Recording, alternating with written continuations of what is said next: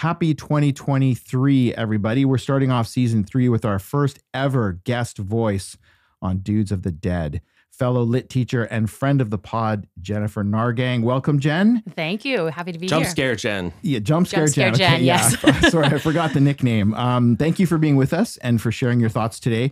Uh, before we get into our discussion of Alex Garland's Men, can you tell us a little bit about maybe your history with horror films and how you actually came to watch this specific film? Sure. So uh, this specific film was sheer peer pressure from Mike. Um, yeah. As only Getting at Mike me can and- do it. Yeah. Yes, Yeah. definitely. Um, I, actually, the irony that I'm here is not lost on me because I am not a horror movie There you buff. go. Um, so very out of character for me to watch a horror film. Hereditary is your Um, favorite one? Hereditary. still, still have not brought myself to watch Hereditary, but no, I just had some uh, some residual trauma, I would say, from you know watching horror movies too young at sleepovers and being the one next to the window and Fair. not being able to fall asleep. Yeah. So yeah, I have a memory of having a discussion with you. Was it session nine? Like Session really freaked you out? phew, that one, yes. Is that what still- turned you off horror movies kind of when you stopped? You know, it was actually that one was trying to power through and watch more, but I, I think at a too early age, like at eight or nine, I watched Candyman, and that scarred me, Mm. Yeah. scarred me. And then Scream. Um, I remember as a kid, like looking out my bedroom window at night, thinking that Scream guy would be running across and coming into my window. So yeah, I'm just not not the type of personality that holds well with Fair. horror. but this one actually not so not so bad. it's not it's not in the same realm as the ones you're talking about. Exactly. Um, I mean, you know, um, we can talk about Alex Garland's other stuff, but I mean, it's certainly not 28 days later. Anyway, we'll get into that. Um, Mike, do you want to introduce the film? Sure, yeah. So as Leatherface Lee said, today we're taking a look at Alex Garland's Men. Uh, and Alex Garland has directed other prominent films such as Ex Machina and Annihilation, and was also a writer for 28 Days Later. Um, so Men stars Jessie Buckley as Harper and Rory Kinnear as pretty much every other character in the movie. and we'll get to that uh, when we get into our discussion. So, a synopsis for men uh, seeking refuge and solace after a horrifying loss. Traumatized Harper flees London and holes in a secluded manor in the idyllic English countryside.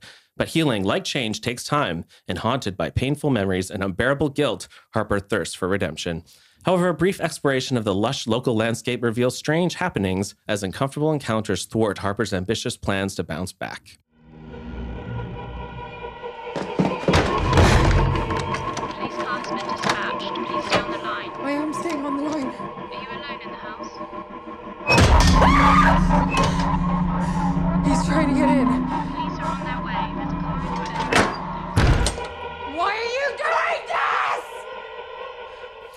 So, yeah, we also brought Jen on for this episode, partly because of the controversial subject matter. Uh, and obviously, the title says it all. This is a film about men. So, we felt having two men discuss the film might be uh, a bit shallow. So, to have a more rich discourse, we thought having a female voice might be helpful. Um, so, Unlike all of our other discussions, which are so deep and meaningful, Exactly, it'd yeah. be shallow just to have us talk about it. so we'll it. just bring back Jen for every episode, There we basically. exactly, Diversity. exactly. Uh, and so, do we want to start? Actually, we'll say uh, got 6.1 on Internet Movie Database Yeah. and 68% on Rotten Tomatoes. Uh, for the critic score, the au- Correct. audience score was 39. 39. Ouch. Yeah. Yeah, so a bit of a disconnect between, and Mhm. that's not surprising to me, between audience and critics. No, not at all. Uh, well, particularly because of how the movie plays out, I can. I mean, as a, I, I thinking like a critic, I I would say, oh, okay, well, I can see what's happening here and all the stuff that Alex Garland is doing, and the performances in in my view. But as a as a moviegoer, if you were going in, even like to me, it's it is a little bit surprising only because if you had seen Annihilation, which kind of comes out of left field in in some ways, um, I would say, oh well, Alex Garland, like he doesn't always do straight ahead sort of stuff. So, but this you is and I saw Ex Machina, I think, in theaters together, if I recall. Maybe I've definitely seen it. I don't remember where. Yeah, we've seen Annihilation. Have Yeah. you seen Ex Machina or No. Annihilation? Okay. Nothing else. I mean, Annihilation is very in line, I think, with this film Yes. in Yeah. terms of style. I think Yeah. Ex Machina is a little more accessible. yeah, yeah, for sure. So I was thinking, do we want to start with the title? Like, even the title Men, Yes.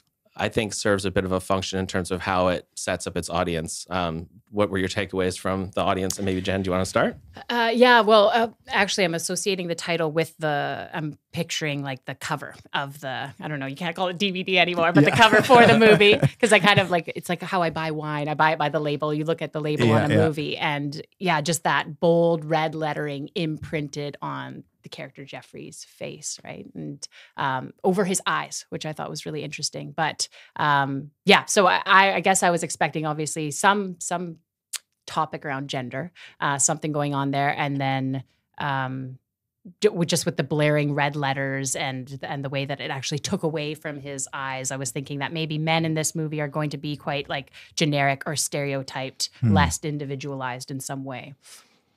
And That's you were about all I pretty pretty bang on. I I, pretty, think, in I some- think that's some kind of what came true. Yeah. Like, do you think he's trying to put male viewers on the defensive? Because it's almost like, men, this is the title. Like, you almost, it's almost like a trap. Like, it, given the themes he's going to be exploring, does that almost put men in a position where they're coming into the film already on a defensive position? So that's interesting. I'll, I'll jump into this because I had a question that, to throw out to, to us. Because one of the things I wondered after I saw the film was what what's his intention um, as a director and a writer? Are we seeing Harper's view of men Mhm. after her trauma? Are we experiencing, or is Alex Garland suggesting this is men? Uh, is it a mix of those kind of things, or is there something else going on? Because to to me, I mean, one one one interpretation would be, at least uh, as I watched it the the first and second time, was this is Harper's external view of men after the trauma she experiences with her husband, and we're seeing all of those individual components of men the moral man, the child, um, the authority figure with the like all of those different things. She's seeing, she's seeing that. But is that is he saying that's what men are, or is he just suggesting that this is Harper's view? And my follow up to that is, is that his story to tell? Which I was really Hmm. interested in your opinion on. But I'll I'll throw it back to you guys. Do you want to go first? Uh, sure. I, I definitely picked up also on that idea of like there's multiple iterations of of men here, like that more childlike boy who just wants a woman's attention or love and like a spend time with me, play with me type of way. Yeah. And then there's the more uh, like caretaking man. Like that's how I saw Jeffrey, almost like fatherly. Yeah. Like I I will bring in your luggage from the car for Yeah. you. I will check around the house to make sure it's safe. Um, and but I did not see it as through Harper's eyes, she was seeing those versions of men. I saw that as like an external, those versions of men were being almost Okay. forced onto Yeah. her. Um, even when she, there's that one scene when she enters the local pub and it does a shot from these two guys sitting at a table and they're watching her enter. So I Mm. was seeing it more of like the, per- the perspective of how men see women and then how she is then seeing those men. But to Oh, me, it was it was the male gaze first. Because she makes no comment that every man looks the same, and it's No, no, Rory Kinnear's no. character. So obviously, it seems that that is intended for the viewer, but Yeah. she's not actually seeing all men in that way. No, she's not. I mean, Because that's a that's an important difference. I think so. I don't think there's at least I don't take away anything from the film of all men are the same. But I think he, um, by having all men look the same, Yes. I think he invites a very simplistic reading, which I think a lot of people will take away from this film.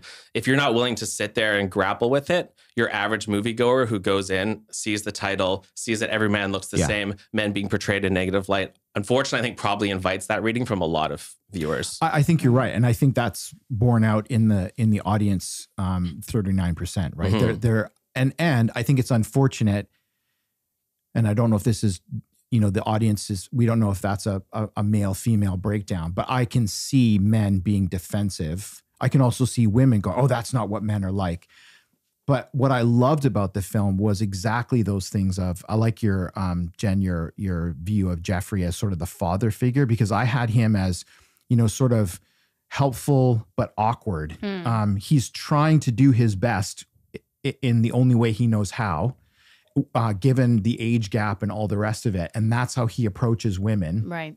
We're not Um, too deep in yet, but just uh, warning for our viewers, this will be full spoilers. So before we start talking about deeper things, Impossible I meant to to not. mention that. Um yeah. So uh, yeah, I too think is he um because the very at the very beginning of the film when she arrives at the manor she picks an apple off the tree and Mhm, eats it mhm. and there's even like a direct reference to like the forbidden fruit so Yeah, clearly absolutely. Mhm. i think he's looking more at the like patriarchal and um, like misogyny built into institutions and built into religion. Like religion is clearly a very big theme in this film. I don't know if he's necessarily saying all men are this way, but men have kind of become this way because of this long generation Mm. of misogyny and patriarchy. Because even Jeffrey's character, he seems like a well-meaning person, Totally. but he says things that are almost um, expected of men in society. Like he grabs her bags and he's um, implying that she should have a husband. But he's not mean-spirited, or at least for the first half of the film. But he has inherited these Yeah. um, positions that are as a result of, in many cases, like religious um, traditions and uh, the patriarchy. Mhm. Do you think? Well, we uh, the other we can jump into this too because I think there's an interesting dichotomy between uh, that organized religion with the vicar and the the um, sort of Celtic pagan side of things with the Green Man and I think I, I think I'm pronouncing this right the Sheela na gig Sheila Nagig, yeah. um, and that's the the um, female symbology, Celtic Ah. symbology that they focus on, right? So there's uh, to me, it just seemed like there was um, there was that side of thing, the fertility. Um, uh, pagan side of things, and then the established Adam and Eve apple. That that whole. I mean, it's like he slaps you in the face with that Yeah. one right off the bat, right? Um, and I, I just think I, I again, it's interesting too with Jeffrey's character in particular because of his age, and he sort of forces his way of the world upon her. That's what he's asking us to grapple with, and I, I think you're you're very right, Mike, about him. It's almost too simplistic. If you're not willing to grapple, if you're not Yeah. willing to to dig a little bit, there's this the veneer is very simplistic. There's the mm-hmm. Adam and Eve, there's men and women, but there's so much more underneath that that he's asking us to think about and how do we interact with the world? How do we see one another, right? Because I didn't really like the film the first time, but I appreciate it a lot more the second time. Yeah, me too. And you only watched it once, but what was your kind of initial gut takeaway?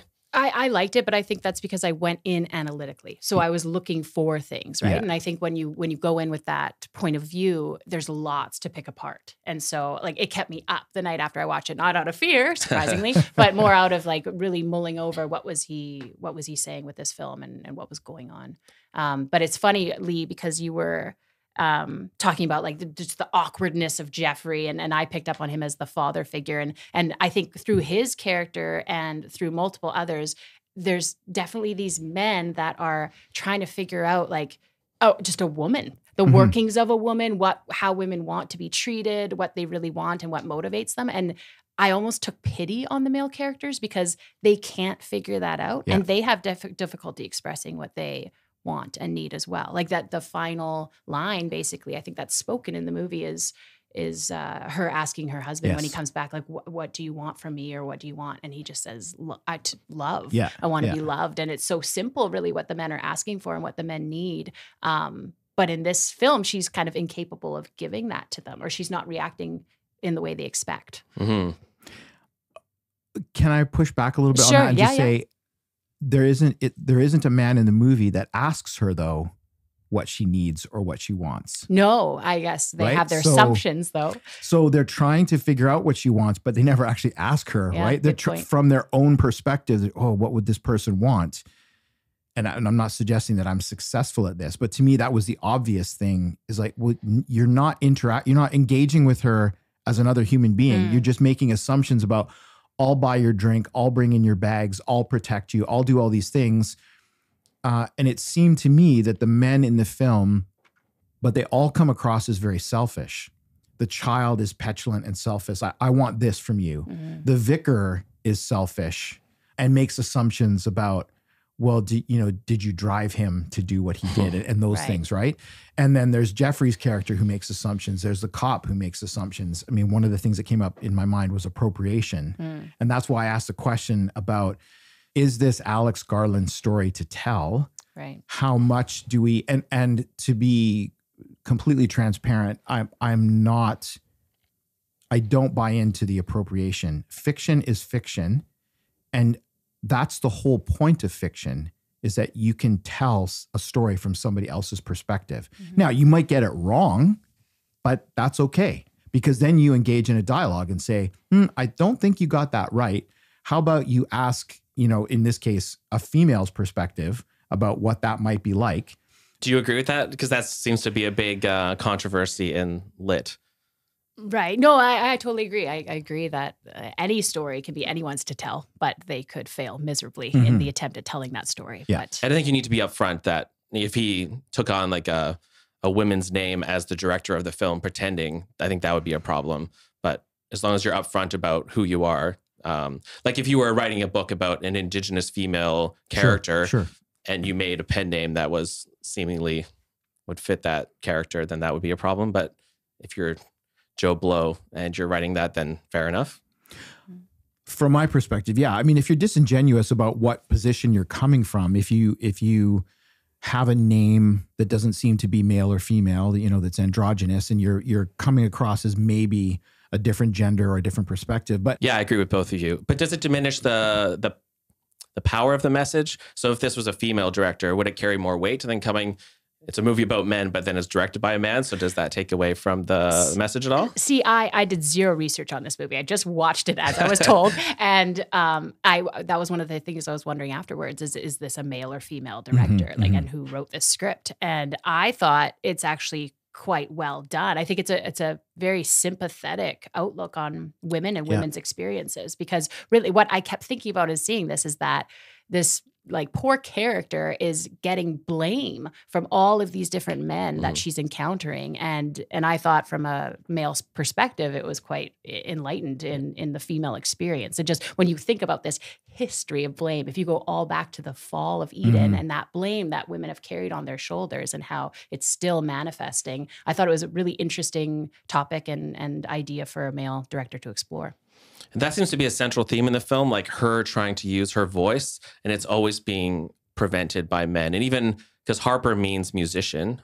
Mhm. literally one who plays the harp. But it's interesting because he at the beginning says like, "Oh, do you play piano?" She's like, "No," but then she plays the piano Yeah. brilliantly later. And in the tunnel, when she starts singing, yes uh, and then that is interrupted by the naked dude at the end. Oh no, is he naked at that point? was he I thought he was clothed He I had a coat, yeah. yes flapping jacket i think so yeah He could have been the vicar then, it could have been because I, based on the clothing. I thought it was the green man as well and then i thought no that the silhouette isn't right for Mhm. somebody with no clothes on yeah, and then she screams out in the church, and um, the vicar shows up is at that there. point. yeah And I guess because the vicar makes a reference to the um, like Ulysses and the siren. Did you pick up on that? and that's Mhm. exactly yeah when, and so that story is about like the the sirens like tempting. yes Mhm. Um, so interesting that when she uses her voice uh, and he blames her well, again, talking about uh, blame.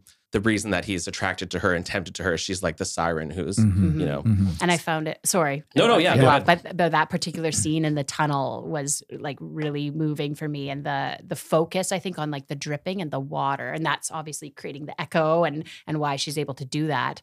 But that idea that she is just trying to express her voice in that scene. Yes. She's experimenting. She is not trying to entrance a man, but then at the end of the tunnel, a man shows up and just starts running towards Yes. her. Right. So it, definitely that whole siren song thing. Uh, there's like a whole sexual component to that, especially if it is the vicar Yeah. because of course later he shows up and says like by merely existing you're yes you're seducing me Yeah. essentially so uh yeah that scene was really cool with the with the ties to the whole siren song and then there's the like you brought up a harper player of the harp but there's also like the harpy um Yes. meaning behind Yeah. that right and that whole scene with the raven with the woman's mask on Yes. top right like a female head with the, the bir- body of a bird yes. there's there's a ton to pick I apart knew there. there was something about that, and I Yeah. didn't get it at the time. But thank you for for bringing that up.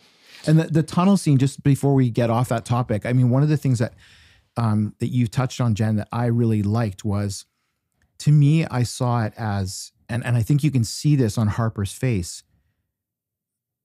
It's just this childlike joy of express uh, expressing her voice, and then there's menace when you Mm. see the man at the end of the tunnel, and then when he starts running towards her. And I just thought, again, this is that that brief scene encapsulates, I think, the um, one of the possible messages of the film, and that is when a woman is trying to express her voice, when she's just uh, being herself and and ex- and having joy in the world, it's fucked up by the presence of a man, and and not even even if he hadn't run towards her, Mhm. just the the silhouette of a man, just the idea that he's there introduces menace and the Mhm. potential for harm, right? And she's trying to use her voice with the police officer to say, like, I'm in danger. Uh, Yes. Yeah, please do something about this Yeah. guy. And they just ignore her. Yeah. So, and this is where I think the film gets complicated. There's a lot of different kind of themes and motifs that I feel kind of get muddied a little bit. Because one of the themes seems to be she's also trying to recover from trauma, right? So she's had this traumatic thing. Uh, there's themes of rebirth, I think, with the Green Man and the Sheela na gig. And so, could you see that tunnel as she's almost trying to like heal from her become reborn, going through the sort of birth canal and coming out the other end, but she Mm. can't because there's a man on the other side preventing her from doing that. So I, I think it's fair to read in this kind of rebirth Oh, motif sure. because of the Sheela na gig and the Green Man. But then that starts to muddy the waters if we're just looking at a gender commentary. And there's also a lot about religion as well. Oh, 100%. And I almost feel like he maybe went too far in trying to introduce too many elements that start to maybe muddy the water and become a little bit confusing. And there was the decomposing deer as well, right? And they make a reference to rebirth and they zoom Mhm. in through the eye socket of the deer and then Mhm. zoom back out and it's decomposed. So it seems like, and actually, I think something you said about what Grant had said when he watched this film, but is this a story more about her wanting to overcome trauma? Some people talked about the five stages of grief Yeah. and yeah. that she's doing that or is it a commentary about men in society or is it a critique of religion and there's a lot going on and i don't know if they always work out perfectly Mm. My initial reaction to that is um, if we if we talked to or if you mentioned um, the possibility of a of a, a, a too simplistic view of men, but now you're saying it's too complex. when no i'm just saying there's a danger of yeah, okay, of taking a simplistic view if you just say oh hey all these guys look the same Yeah, i don't think that's the case because i think when you really dive into it there's a lot going on but you have to really dig to most people aren't thinking on that level no, and I- especially if you don't go into the film expecting to think on that level and I th- I I just wonder are are those things not inextricable? So when you talk about the Celtic elements and and the rebirth stuff and the religious part of it and the grief and her like aren't all of those things how would you extricate those things from one another? Like aren't they all aren't they all happening all at the same time always? But I guess if your message is religion and patriarchy is the reason that women are suppressed, how does the green man, who is supposed to symbolize rebirth and who's a pagan symbol, like how does he play? Because that kind of muddies the water if your commentary is religious institutions. Yeah, I can see that. Like they almost seem at odds with each other. Like they're not consistent in terms of the green man. Is he even a threat in the film? Like she sees him as a threat, but maybe if he represents nature and actually all the times where she is happy and flourishing is very crisp, green, uh, Mhm. bright green Mhm. colors. And every time she's in a building or there's like, I almost saw it as institutions was red because inside of the building Yes. is all red when she is being like the lighting when she's interacting with James is red. Mhm. But then when she's out in nature, that seems to be when she's herself and happy. And it's Yeah, really yeah. green. She's out in the forest. So how does the green man play into that? Is she does she learn to not actually become afraid of him? The threat isn't the green man. The threat is these other characters. I still see the Green Man as a threat. me I think when he, well, he first of all materializes in, in a very threatening way, right? He's just there. And then th- there's something that really sits with you when you see like a full frontal male Totally. nude, right? So he's very, like, it's almost violating in a way his presence and he's just there bearing all. And, and she just has to see that. So I saw him as another threatening figure for sure. Totally. And I agree, but that's where it seems to be contradictory because if he represents rebirth Mhm. and she wants to be reborn from coming through this trauma, then should he not be th- a threatening idea symbolically? Isn't it all the other, the institutions and religion and men that is the thing obstructing her from achieving her goal? Well, I guess I, the the thing that the thought that comes to my mind is isn't the fact that he's a male just the very fact that he exists is a threat to her. I mean, if if we look at her inside the house, she's come to the country to overcome the, or, or as part of the overcoming of of the grief. It's rebirth. I mean, maybe another way to look at look at that is if you're inside the house and you've got those red walls, is that her in the womb? Is that her Mm. trying to to regenerate herself. And then when he sticks his hand through the mail slot, is that not him? To me, that was a direct threat. Now, there are other ways of interpreting that. Maybe he's reaching out to her, but it doesn't seem that way when you've got a locked door and he's thrusting his hand. If you do that womb interpretation, Mhm. he's thrusting his hand in there almost well certainly without invitation and i don't know if you noticed that the the injury that that she inflicts sure, on him yeah. is the same as her husband Yes, Mhm. Um, definitely. Yeah, I guess it's interesting though. Then why choose the green man as your symbol that you're alluding to when, given what he represents, seems like an odd. Like going with the vicar makes perfect sense because he seems to be attacking religion. right So right. as a pagan character, it just seems a bit odd to me. And I, at first, I wasn't even sure because he's never quite directly threatening her. Like he's in the background and he's standing Mhm, there. mhm. But it seems to be the other iterations of the character that are preventing her voice or coming after her. And he maybe seems threatening on the surface, but maybe actually isn't. I don't know. well is it possible that garland's maybe suggesting that that that green man character that that pagan element is not as innocuous as the assumptions that we make about is he deliberately conflating the idea of organized religion and pagan religion as saying "Mm, maybe our understandings of pagan religion and what the green man represents is not as favorable as we might think That's Um, possible. right I- But when you, if you just look up the rep, like Yeah, what the green yeah. man represents, it's rebirth. yeah yeah So to me, I felt that's what she was trying to achieve. So it's just interesting that that was also the threat, I guess. But I mean, and to be fair, the the scores and some of the reviews kind of suggest as well that perhaps he didn't achieve his complete goal of maybe what he was going for. I think that's probably fair. Like I, I think um, there's a there's a lot going on. This is about grief and religion and relationships and gender and fertility and all of these things. What is he asking me to think about? What is he asking me to come away from? I mean, it's certainly one of my questions for Jen was, what do you think Garland wants us to walk away from this film understanding? Oh, maybe maybe there's not one thing, but like what what did you come away from the film with an understanding of?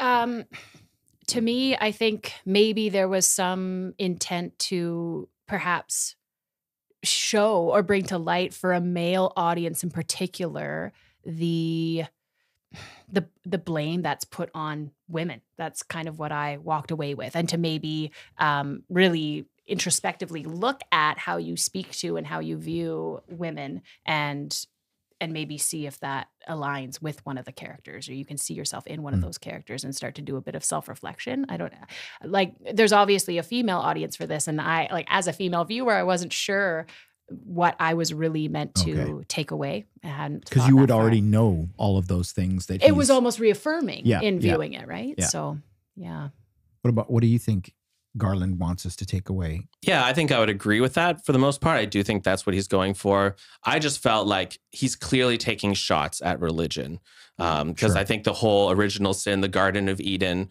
um, the vicar, uh, even like James, the, her husband, some people said that could be like the King James Bible. Oh, Um, interesting. So that there's actually a lot of religious um, symbology and iconography in the film. Even the way her husband looks when he falls Yeah. on the ground is very Christ-like, yeah, yeah, and he's got like his hand is pierced Yeah. and his feet are broken. Like yeah, that's a very Christ-like.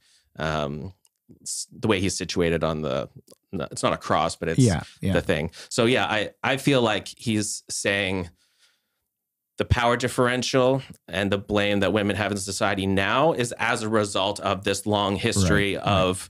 Uh, religious control. And I think that's where he's saying this all starts with religion, the reason that we have this gender imbalance. And I kind of felt like maybe he was saying, because there's all the nature and that's where she seems happy, that Mhm. like we should be equal, but religion has created this atmosphere where Right. that we have this imbalance. And so he's trying to, I think, as Jen said, trying to make the male audience see that. But I saw this as like a pretty scathing attack on religion. I mean, you have to see it that way, Oh, right? With I- the Garden of Eden, like No, that no, is so sure. clear. He's definitely take. I, I totally agree with you. I was just uh, grappling with something. Sorry, I kind of got off on a tangent in my mind, and I, I was thinking okay. about her husband. And one of the things I wondered was, was it necessary at the beginning, they're obviously not getting along. She says, you know, I'm going to divorce you and so on. Did he did he need to have that scene with the domestic violence in order to hit home? Like to me, that was I, I'm questioning it because I'm wondering, like, couldn't you have a disagreement, an end of a relationship without her having to have a reason, quote unquote, to leave him? I mean, he's controlling, he grabs her phone, he's, you know, questioning her, and then he it looked to me like a full-on punch. It wasn't a Oh slap. yeah. Mhm.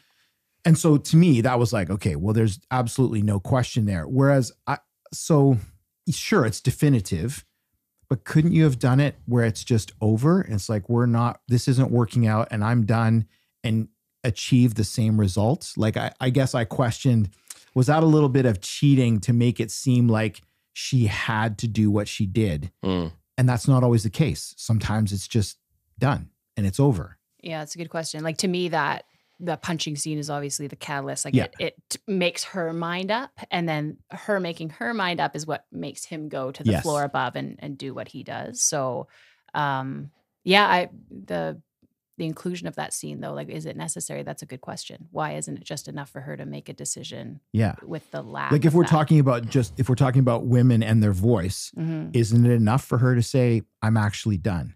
I don't need a reason. Interesting too that uh, when he's falling, she's trying to scream, or you Yes. see her, but you Yeah. can't hear her voice. So I think that's interesting. Or was it just to make him seem that unhinged? Yeah. I mean, there's, Right. there's Like other the fact ways that he's willing to jump off a building and kill himself, that's another indicator that this guy is like mentally unstable. we said spoilers. We did, yes, There was a exactly. but I really also thought it was interesting. There's that one part where I think it's when she's like telling the vicar what happened, and it's a question of did he actually intentionally jump or did he slip? Because she said he Yes. he climbed up with the intention of just climbing down Right. onto their balcony, and he slipped, and that's what happened. So that whole question of what was the motivation there? Was there a motivation or was See, it accidental? To me, I mean, I, I, I agree with you. There, that he does present it almost as a question, but I never believed that she believed that. Mm. I, like when I see that scene, I'm like, yeah, that's a bit of rationalization to to help remove any any guilt that she might have about his intention, because it's very clear before that, this is what I'm going to do if Mhm. you divorce me. So it's like, was it really a question, or is that just her trying to assuage her her any possible? I'm not saying she should feel guilty, but maybe that she did. Mhm. And the vicar certainly doesn't help by saying, No. "Oh, well, maybe if you'd let him apologize and let him back in, that none of that would have happened, right?" hmm I thought it was a bit unfortunate that that having him want to manipulate her or else would commit suicide. Like I wouldn't necessarily see that as a male tactic. Like I think every other all the other men in the in the film do things that are kind of characteristic of men to Mhm, do to mhm. women. But uh, I would see that more as like that's a very like borderline personality thing, like someone who's like so attached to someone they're threatened to kill themselves or something if they don't, which Mhm. actually has a 75% prevalence rate in women more than men. So I would have thought maybe they could have chosen, they could have almost just stuck with the domestic violence Right, perhaps or had another. Um, I don't know clinically what what that would be, but I certainly don't feel that that's a male trait. I've I've certainly not myself personally, but known people who've had that happen. Well, if you break up with me, this is For what sure, I'm going to yeah. do, right? Mhm. And so I don't think it's a male. because it kind of paints, I mean, he's painting with pretty broad strokes here. Absolutely. Uh, to kind of say like, is this another male behavior? Which I don't know if I would agree with. Mhm. Whereas everything else I thought was good. One thought I was curious to get your opinion on. There's a female police officer yes. Right. And I thought that was kind of interesting because every character in that village is that one is Rory Kinnear's character. That had to be deliberate. Like, I th- what, what's your take on why have one female character Mhm. who's an authority figure as well? And is that to put some blame on some women as well? Because she says, I think, oh, I don't, we've checked him out. I don't think He's he's, really a threat. So Mhm. she's on the same side as the Mhm. other men in the village, but she's not a man. So did you pick up on that? And do you have an interpretation of that? maybe she's representative of uh, like a female character that is not carrying male trauma, right? Harper is very traumatized Yeah, by what's happened, and, and maybe that's showing her biased outlook where we have another woman who does not have that same bias. to play devil's advocate, there's also the I think what you're suggesting is that that she's the female who who protects men and who goes along with the male dominant theory Yeah. uh, or or the or the patriarchy Um, And again, I think that's more evidence for this is perhaps societal, like Mhm. structural. So like this authority of it's more the the institutions that we've created yeah. that are created by men through, I think, religion, even though women can participate in those institutions. Yeah, that's a that's a very interesting as I I mean it makes total sense to me that you've got, you know, the police which is a paramilitary Yeah. organization. And the church. Yeah, and the, and and that that that police are until very very recently created by men, run by men, pretty much, well, I won't say pre- for men. So that's a very interesting Because she's a re- she's a total outlier. Because every other character, I think Yes. that I don't think she encounters other than her friend on the phone Mhm. who's back home. I think everyone she encounters in that village is Rory Kinnear, an iteration of that. she is sympathetic to Mhm. Harper, but she also toes the male line. Yes. Right? She's like, I don't think he's. You don't have to worry about him. He's not a threat or Exactly. something. I think is Yeah. what she said. Now, so so the only other character in the film is Harper's close friend. Riley. I think yeah. so. Sounds right. And that, and so she FaceTimes with her, and she's the one who ends up arriving at the end. And you don't know until the end that she's pregnant. Yeah. Which I When missed the first shows- time I watched it. But Yes. this sounds like, oh, that's super interesting. Yeah, Yeah. So that was very interesting to me when when she shows up and and she's you know pregnant, and mm-hmm. it's like okay, I and I don't know what to take away from that I, other than the cycle continues, right? Well, that's kind of the irony that this whole patriarchal cycle and rebirth requires women. Like it, a woman has to be there to, you know, give birth to more men to perpetuate these. uh And I think that's why that the presence of the kind of boyish character really struck me because he also, even though he's a child, he's also representative of kind of like an institutional ideal that is passed down as Mhm. well, right? Because he's saying like, "Play with me," and Yeah. as soon as she says, "I, I, I don't want to do that right now," Yeah. like I'm saying no to you, he says, "Bitch," Yeah, right? So she's Yeah. not willing to give this child the time as like a motherly figure, and And how so- did you read the mask? Because the kid's wearing a mask. that's also interesting, and that's another representation of a female, right? Because it's that blonde, like Mhm. red Or lipstick. is it that men can pretend to be not threatening, but deep inside, behind the mask, we're all like the vicar or Jeffrey or the Green Man. right? That's interesting because he comes across well, very creepy is how he comes across. But when she first sees him, it's less threatening than when he takes the mask off. Yeah. Right. And that's when he Um, kind of turns on her, right? Yes. When she refuses to play with him, is that when he takes off the mask? Yes. Yes. And well, and he's like initially, he, there's. It seems to me that he's a little bit shy or whatever, and then he asks for what he wants, but when she doesn't give it to him, um, then then he's then he turns on her, right? Mhm. And I, I definitely, I mean, to me, that's a very obvious, like that's that childlike part of men that, well, if you don't do what I'm asking you to do, then somehow you're against me or you're a bitch is the word that he Right. uses, right? Should we talk about the climax? The Well, I was just gonna say we've been avoiding the birthing of men um, at the end of the because it's film. a somewhat normal movie until that point, and they're like, "Wow, what is Yeah. going on here?" And I think that will make or break this film for a lot of people, probably. Uh, maybe Jenn, you could describe kind of what happens in detail. Just So- Yeah, leave it to the I'll guest to do the hard you. part. Please paint us a picture of what happens in that scene. Well, there's this. I think it, an important scene right before that as well is she has this encounter with Jeffrey, and she's essentially chased, hunted down in Yeah. her own car, um, and then that crashes. And then, forgive me, I'm trying to remember the order because I feel like the the sequence of who gives birth to whom is possibly. So I think it's the. Green Man, Green Man, boy, first the boy, first the vicar, Jeffrey, James. I And then think. I think that's Okay. right. Yeah. And five stages of grief. There's five things. I think that's kind I of never, interesting. I never Interesting. thought to notice the order. That's very interesting. Yeah, well, I when we were about on the second or third labor scene, I figured, okay, like this is going to end in her husband. I, Right. I, you know, that's what's coming, but I didn't know if there was any meaning behind the order. But essentially, um, the Green Man begins and gives birth in a very traditional way, and then like an- another male comes out, so it's just like male upon male being birthed in order. Um, Um, but then the labor changes because it goes from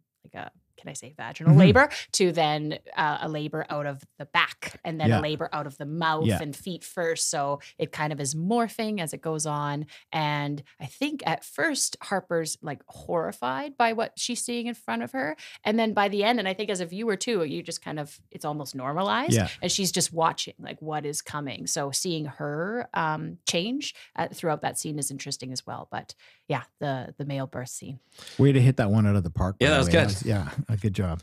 Yeah, so do we see this film more as a psychological journey of Harper trying to overcome trauma, or is it more of a societal critique of men, or is it both? Because it's interesting, the fifth stage of grief is acceptance, Mhm. Mhm. and James is the final iteration, and she's not scared anymore. She's kind of No. just like, Yes. okay, like this is it. And I was trying to, when I was looking at the five stages and looking at those five characters to see if they kind of symbolize the traits Mm. of like uh, anger and um, denial. And maybe you can read it that way. I don't know for sure, but I Well, think some people feel that this film, like all these characters are in her head, Mhm. and this is like her psychological demon she's Right. battling to like come out the other end. But I don't know because is that do you say what Grant's takeaway well, was yeah, from it's this? because I watched this with my partner, and so he, like, he basically left with, and this was pre the birth scene. We paused halfway through to grab some snacks, and uh, we had watched the tunnel scene, and he said, you know, like, there's nothing scary about this film. He's Mhm. like, she's just going for a walk, and she just sees another person. Like, there's no reason to be afraid of that. But then she turns and runs in fear. So he he was of the mind that everything is in her head, and we're seeing everything in this biased view Mhm. because any other normal person would not be threatened by the presence of a stranger, but she is. So symbolically, how do you guys read the the birthing? Oh, Well, I, I like what you said. I mean, I don't think it reads exactly. Like, I don't think it tracks exactly, but I do think what what resonates with me is acceptance with James as the last one, and mm. particularly because she seems at peace Exactly. at the end when her friend arrives, and she's just like, okay. And even even in the scene with James when he says, "All I want is love," mhm. like when or she asks what what do you want from me she seen that her body language seems to exude a, Mm. a peaceful acceptance of this is okay i get it this is where we're at um but i don't know like for example the green man being the first one i don't know where that fits in with anger so i don't know if it tracks exactly Yeah, Right. and like, is it from paganism? Then like the vicar's in the middle, then it's religion, and then maybe the hope is that we can come out of this eventually. well and we haven't even and i don't know that there's anything to this we haven't even talked about the interracial aspect of their relationship right True. so let's not let's not open up that Pandora's no, maybe box. not. Um, sorry, Jenn. Did you? Well, I was just gonna say that in the sequence, the thing that the thing that stuck out to me the most was Jeffrey just sobbing, and he was the second to last one, and he was just looking at Mm. her and just you know so upset and crying, and that part was the most meaningful to me for some reason. So I don't know if that fits into your stages. Um, I, I should have written them down. I didn't, unfortunately, but ridiculous. it might. I think I, I was trying to track them all.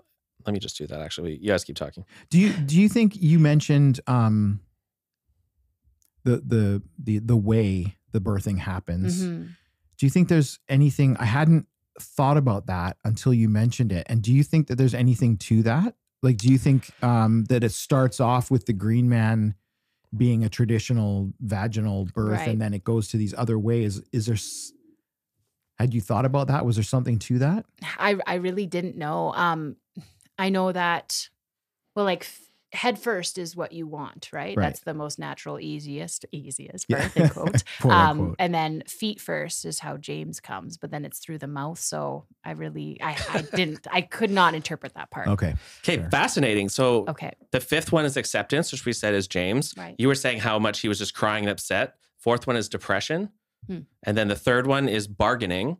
And I think when you look at the conversation the vicar has with her on the bench, that idea of bargaining about how much of it is her own guilt versus uh, his guilt. So I think maybe that fits. Well, even him bargaining his own desires Mhm. versus his moral Yeah. obligation to be an, an a, The kid, number two, is anger, and he gets mad at her for not playing the game. Yes. And then the first one is denial, which would be the green man. Hmm. I'm not sure exactly how that fits, but that's pretty fascinating. And even you saying before that how upset he Yeah. was and how much he's crying, Mhm. that depression. actually. I mean, I'll take my I'll retract my statement because that actually does track pretty close. To, it totally those does, five which is stages, actually really right? shocking given everything we just said. Yeah.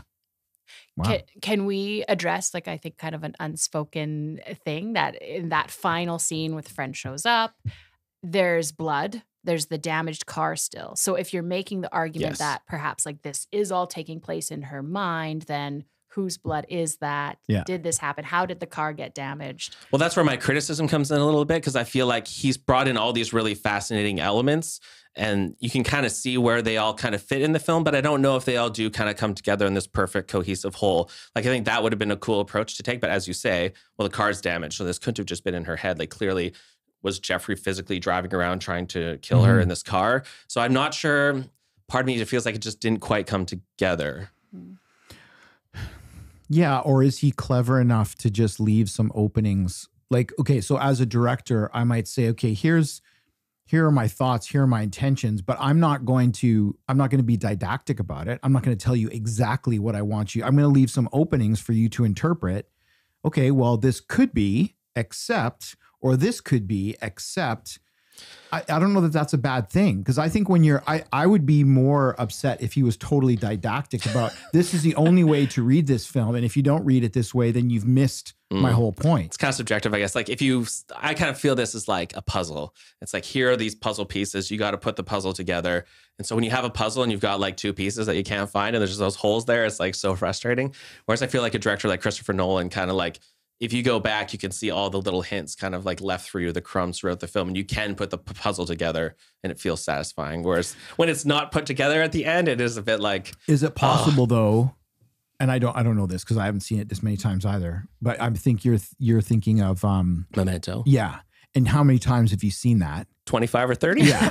So fair on enough. second viewing, is it possible that we've missed some, some For sure, pieces? for sure. Um, the other thing is her, well, her friend does say something eventually, I think, doesn't she? Like, I think she says, Are you okay? or something like that at the end. Because I was going to say, if you're reading it as just in her mind, is it possible that we're still seeing Harper's Mm. view of the world because her friend doesn't say anything yet? I don't buy that. I'm just throwing it out there because I think we are seeing the legit view of the world because we're seeing it from a third person perspective looking at Harper. Mhm. Mm. And the don't fact that all the men look the same is maybe for the audience, and that's not what she's actually seeing. Well, that that was the other takeaway that I had from it was is this possibly just what she sees is that she's overlaying well this is just another man. And I think it would have been too on the nose to have James's face on every character. Yeah. Whereas when you have Rory Kinnear and and we haven't really talked about the performances. I mean, they're both outstanding. I mean, they Harper uh, carries the movie. Uh, it's sorry, I can't remember. Uh, I do have it here. Uh, Jessie Buckley. That's right. Um, I've seen Rory Kinnear in a few things, and we've talked about his his Penny Dreadful performance. Technically, I think the film's amazing. Like the performances are really good. The cinematography is great. The use Yeah. of colors, uh, the, the soundtrack is beautiful. Like even when she's singing, and then they make that into the soundtrack Yeah. later on is really cool. On a technical level, I have no complaints. It's more the And this is what some people said. I recall this being a similar criticism to Annihilation. yes. Um, performances were great, technically sound, all the rest of it, but it just didn't come together for. And then I you get really to the like that birthing film. orgy, and you're like, oh, Yeah. what's going on here? I mean, like you said, I think this this um, is closest to his As- Annihilation film because there are elements in that where it's like I gave my head a shake, going, "Whoa, wait, wait, wait, whoa!" Because I've seen that I think three or four times. See, I only saw it once, and I didn't love it, but I wonder if I should go back and watch it multiple times, like this one. Yeah, I mean, I think I think he is a director that you gain from multiple viewings, and you start to fill in, and he gives you so much to work with, like so much to think about, so much to grapple with, that I think it pays off if you. And that I would I would argue that this is almost a misnomer as a as a horror film because I mean, you know, Grant talked about that too. There's there's no real jump scares. I mean. Arguably, the end is horrific, and there are Well, elements. she's being chased around the house. Yes. There's a few. Yeah, but I mean, the naked dude in the field, that's pretty terrifying. yeah. Uh-huh. I won't even go there. Um, Did you have any what did you have any critiques of the film as a movie? Like if we put all the theme and metaphor aside, just in terms of what you thought of it as a film. You know, I, I'm kind of on board with you that I feel like maybe there was some, mm, like, so much going on that it became hard to, like, keep maybe some overlapping themes separate.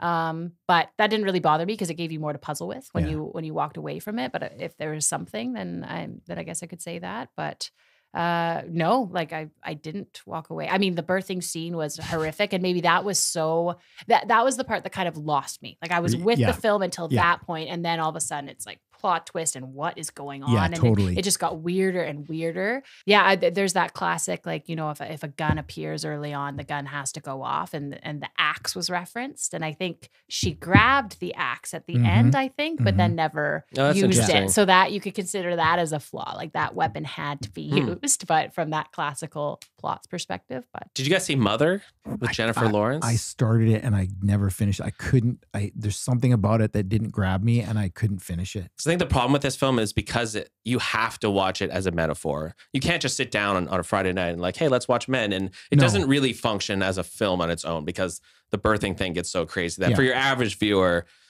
it's a great puzzle. And if you want to take a couple days and really sit down and grapple with it and think through it, it's a very rich experience. But as a as as you say, a horror film for someone just to sit down and watch, like that's why I was curious to hear um, Grant's perspective, someone who's not really going in with an analytical mindset, but just hey, let's watch this movie and see how it lands. mhm. Like, do you think did he enjoy it in the end? no No. Yeah, I think that's probably most people. Like, Yeah, yeah. you have to go in with the mindset of like, I'm going to be interacting like with a piece of art or literature here. This is not like for entertainment purposes. And my understanding of Mother, it's the exact same thing. The whole film is a metaphor. Yeah. You can't watch it as a film, really.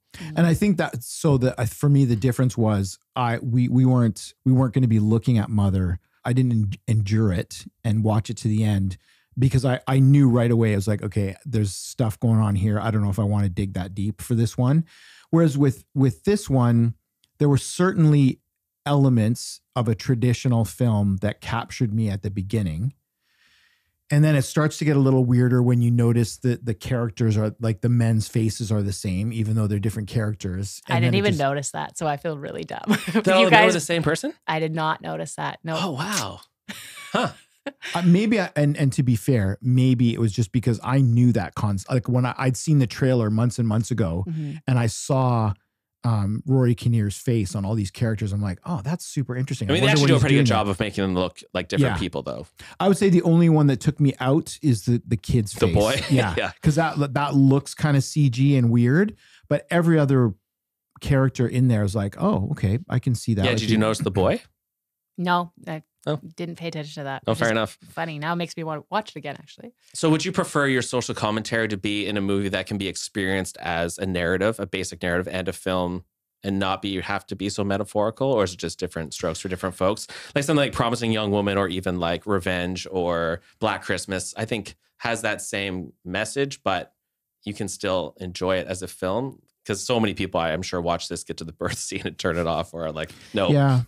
Yeah, I mean, he definitely takes it to the nth degree. I don't know. That's arguable because, on the one hand, I I'll agree with you that it's more digestible if it's more surface, and you could sit down and watch it. I was thinking about even the ones we did.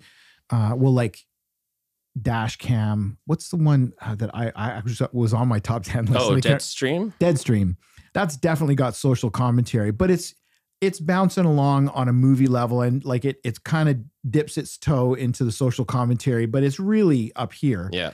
This one takes a deep, deep dive. And if your goal is you want to convey an important social message, then by just discombobulating your audience and maybe even turning them off from the beginning by calling it men, are you actually like contradict or working against your intent? Okay, well, so again, to be devil's advocate, Yeah.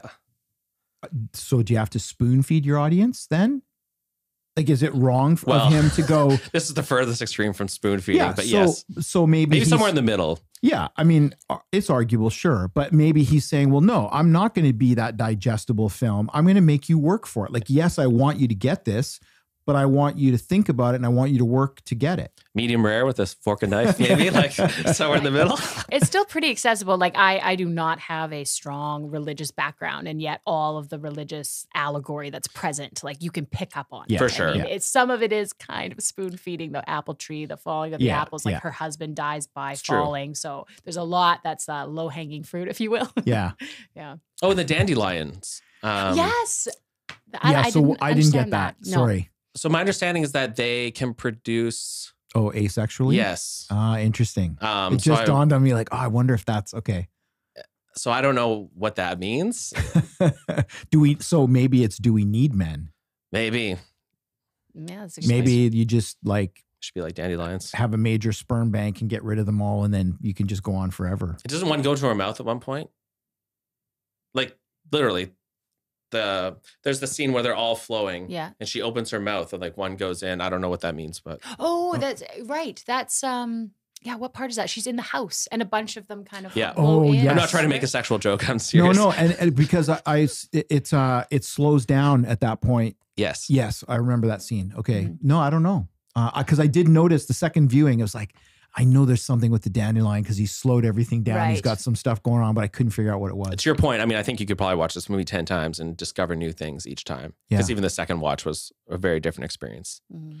Well, at the end, she's holding something in her fingers. I think, isn't it green? When she's sitting there and her friend Oh, sees yeah. her, she's kind of twirling a little. I I, don't know it if it's a green. clover Yeah, or yeah. something in her finger, in her fingers. So that could even be some kind of, I don't know, something symbolic for the green man. Who knows?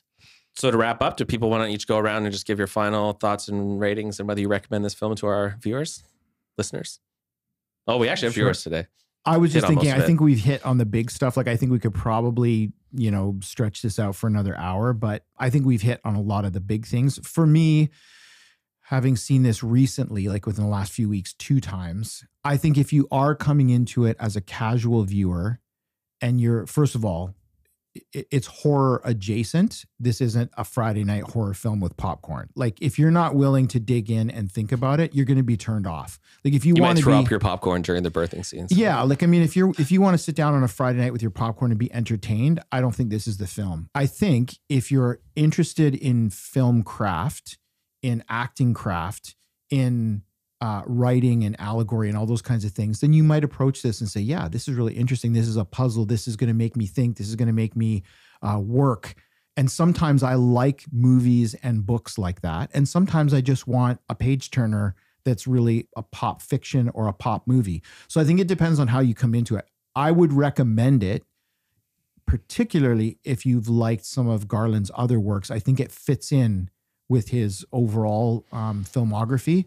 Um, so, so I recommend it, but only if you're willing to do the work. hmm Jenn? Yeah, I think uh, reiterating a lot of what Lee said, I think it's not one that you turn your brain off for. So if you know that going in and that interests you, it is. It's like a piece of literature and looking for decoding things and and why they're in there. Um, and I think it leads to good good conversation. Like Grant did not go in with that kind of mindset, but we even like conversed about it after, and it, it left us talking and wondering about things. So um, it's actually I I do not rewatch movies typically, but I would watch this one again just to pick up on on scenes I missed the first time around. So recommended, but not for entertainment's sake. Yeah, good point. Yeah, I think on a technical level, the film is brilliant. I think everything about it from a film craft perspective is amazing. And yeah, as you both say, like it's just, I feel like with literature, you know when you're going to be reading a chunky piece of literature. Um, whereas with a film, like you and I just kind of go down a list and like, okay, men got this rating, it's Mhm. supposed to be good. So it would almost be nice to know that this is a movie you have to go into with a particular lens. Um, because I think you and I were almost willing to kind of dismiss this film the first time we watched it. Um, so yeah, if you like to think really hard and you like to do like think of this film almost as a puzzle and you like putting that those pieces together, I think it's a very rich experience and a very good film. But yeah, would I recommend this to like your average moviegoer? Yeah. No. Like I think this is for a very niche audience who wants to like put in the time. And I think it's one you have to watch multiple times. So on a technical level, I think it's amazing. I think I do think he overreaches a little bit. I'm not sure it does all come together Yeah, that's but I still appreciate the effort and it was kind of fun to actually puzzle through all these different things and try and put it together and i thought that the discussion today was really fun so i appreciate a film that can do that because willy's wonderland is not going to give you that experience so Uh, I w- would like to thank our guests today, Jenn. Thank you for having me. This was really Um, fun. and particularly because, of course, you you can't see this. Even on video, you can't see this because the windows are blacked out. But they Mike and Jenn uh, braved the storm of 22, um, slipping and sliding to get here today In my Prius. in in the Little Prius. Toyota plug. Um, so yeah, I just wanted to say thanks to Jenn. It just makes me want to have Jenn again and have other guests because it makes the conversation that much more engaging. When You we don't have have to talk to me the whole time, Yeah, so. exactly. Yeah, I was trying to be nice and not say that, but that's exactly what I was I'm a thinking. I human can see it in cushion. So I hope you enjoyed this episode of Dudes of the Dead podcast, and We'll, see you in the aisles. Thanks so much for listening to Dudes of the Dead podcast, where Maniac Mike and Leatherface Lee break down their latest horror movie recommendations. The show is researched, written, and hosted by Mike Vincent and Lee Neese. Produced and edited by Lee Neese. Special thanks to Aaron Jabs for the outro music. This has been a Neesely Done podcast production.